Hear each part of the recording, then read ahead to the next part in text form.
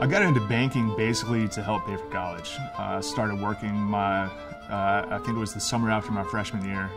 And one day I just realized I, I just I just did not want to sit behind a computer. I, I had to do something creative. I had to, to build. I had to do something with my hands um, that would last and have a legacy. I saw this this class was being offered, uh, making a little small table. And so I took it. It was one night a week for four weeks, I believe. I became really infatuated with woodwork. Um, knowing that that's what I wanted to do, I kind of jumped in to the deep end and really immersed myself. Um, then I found the school in Scotland, um, and we moved over there for almost a year. And I, I trained at the Chippendale School of Furniture.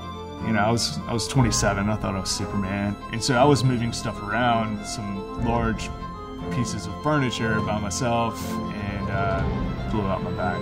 I can't build the large conference tables that I used to make, or the, the huge pieces of furniture.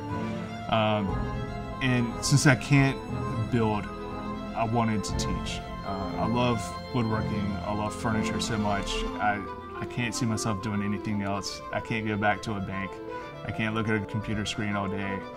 This is this is me. This is woodworking is a part of me now, and I want to give that knowledge to everyone else. So that's why I started the school. At my current shop, we can take three students uh, comfortably, but the new school will have room for 15 students. Um, so those are the next steps: is to expand the school, uh, grow larger, teach more people.